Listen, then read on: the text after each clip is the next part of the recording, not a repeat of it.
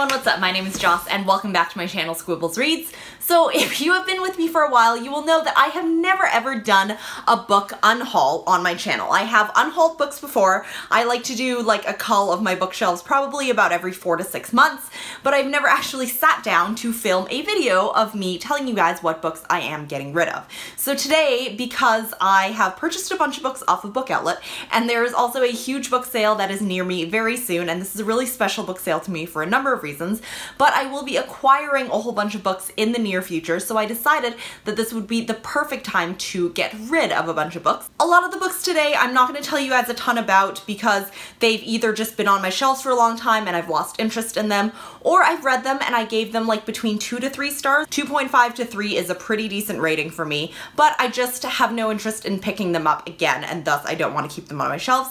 There is one book that I gave 4 stars, but I got a duplicate, so I don't need to be keeping this copy as well. And of course, there are several books that I just did not like, and I will tell you guys why I didn't like those books and why I will be getting rid of them. So I've kind of organized this unhaul into all those different separate piles. And without any further ado, let's get started. So why don't we start off a little bit mellow? So I'll let you guys know what books I read out of all these ones and enjoyed. First off, we have The Terranauts by T.C. Boyle. I actually got an arc of this at BEA 2016, and this came in my Muse monthly box, so I don't need to be keeping both of those. Then we have two thrillers with the same detective, and these are pretty standard mystery novels, and this is The House That Jack Built, and also The Scream of the Butterfly by Jakob Melander. Next is a book that I gave two to two and a half stars. This is Fierce Kingdom by Gin Phillips. I got this from my Book of the Month box.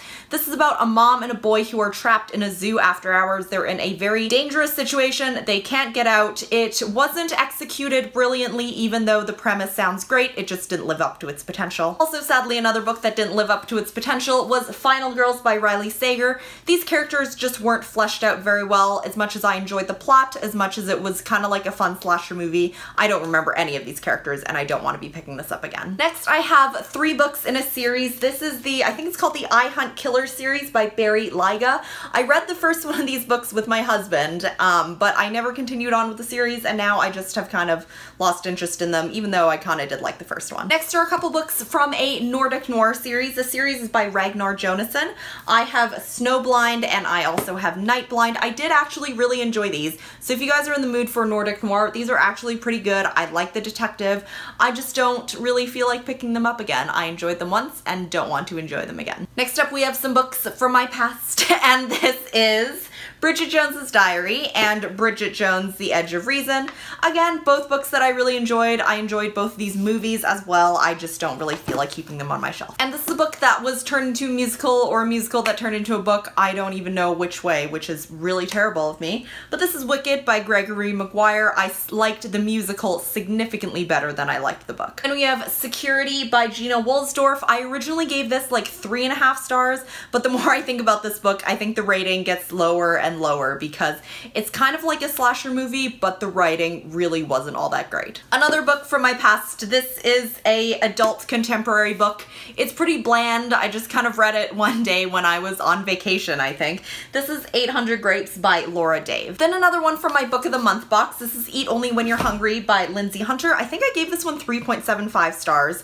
It's really great. It follows a man in his 50s and he is going off to find his son. There's some discussion about body image in males. There's some discussion about addiction and family. I actually really enjoyed this book. I just don't feel like picking it up again. Okay, so now we're going to get into the pile of books that I have read or tried and DNF'd and I felt very, very blah about. Very, very blah might be a little strong for some of these books, but they were definitely flat at best. First, we have the first book in the Fallen Kingdom series by Morgan Rhodes. I found that this book didn't really stand out from any of its fellow fantasy first book in a series books, so I am going to be donating this one. I also have I'll Give You the Sun by Jandy Nelson. I just didn't find this one very intriguing after maybe 25 to 30%. This book, unfortunately, is like that X that just keeps coming back and coming back and you just keep giving them chances and they never live up to your standards.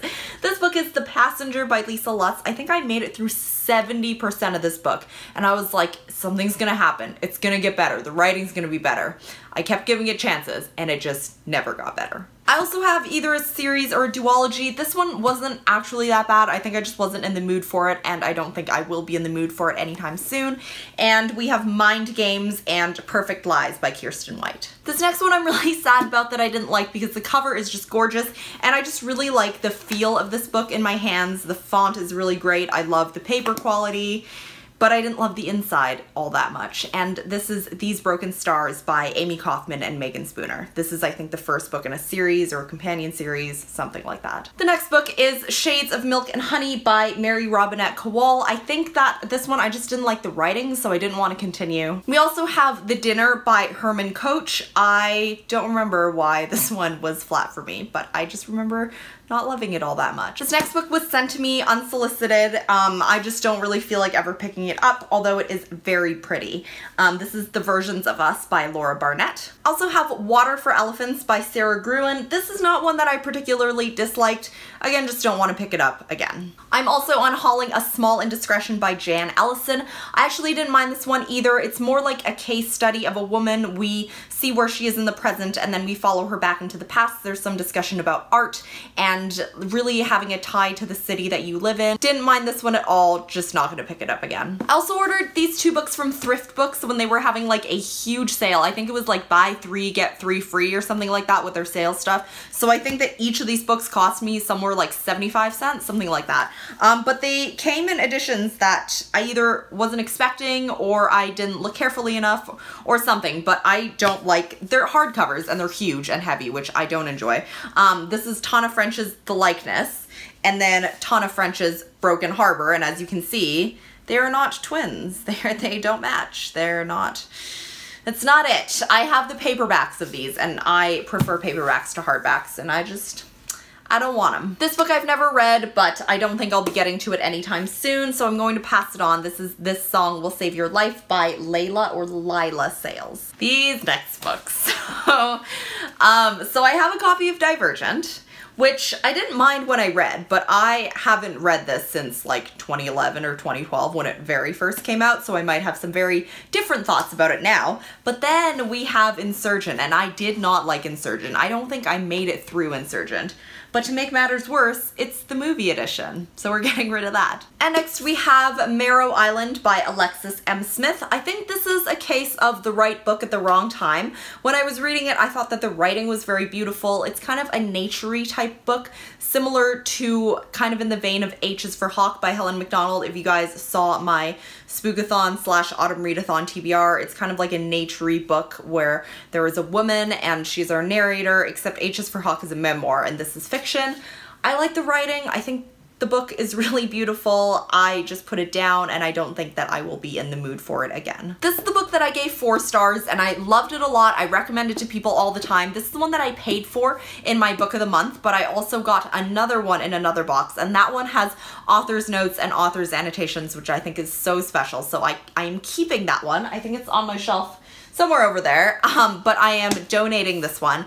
And this is The Mothers by Brit Bennett. This talks about an African-American girl who gets pregnant. It goes through her family and her family's reactions to it. And it has kind of a Greek choir narrator type of deal where at the beginning of every chapter there is a church group called the Mothers. Well, there's a group of mothers at the girls' church and they kind of narrate and act as like like the overseers of the story. I think I thought it was a really awesome book. I also kind of listened to it on audio in tandem with reading this hard copy and I enjoyed enjoyed both of them just the same. So if you want a good book, definitely pick this one up. We are on to the next pile. So the next pile is books that I think I purchased all of these for extremely inexpensive and they've just been sitting on my shelf. I don't have any interest in them anymore.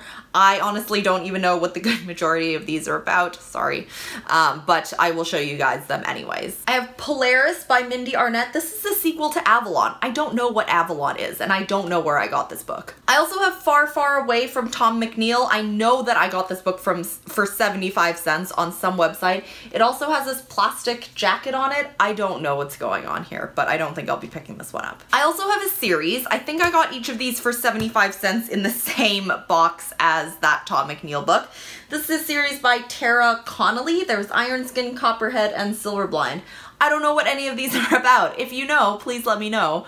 But I think these have been on my shelves for a long time and I just haven't read them. This is another series that I think I tried the first one, but I just never continued. Um, this is Kinslayer, Stormdancer, and Endsinger by Jay Kristoff. I'm also unhauling If You Left by Ashley Prentice Norton. This was sent to me unsolicited. And then we have Sisters of Heart and Snow. This is a book that I have been wanting to be in the mood for forever.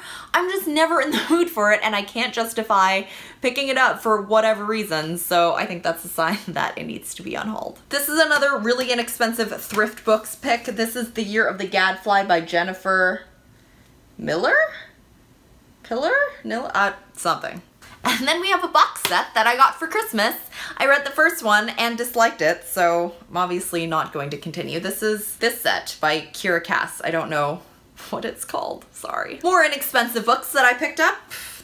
This is Where I Left You by Jonathan Tropper. Skippy Dies by Paul Murray. This weighs like 10 pounds. The Actress by Amy Sohn. And then The Truth About the Harry Quebert Affair by Joel Dicker. I I don't know. These ones were also all 50 cents at a library book sale, so I'll just show them to you guys. This is Lead Me Not by A. Meredith Walters. Forgive Me, Leonard Peacock by Matthew Quick. Paranormalcy by Kiersten White. The Edge of Always by J.A. Redmerski. I read another series by this author that I really enjoyed, but I don't think I'm going to get into this one. Then we have My Kind of Crazy by Robin Reul. The Pocket Wife by Susan Crawford. I actually read this one. This one is kind of just your standard domestic thriller.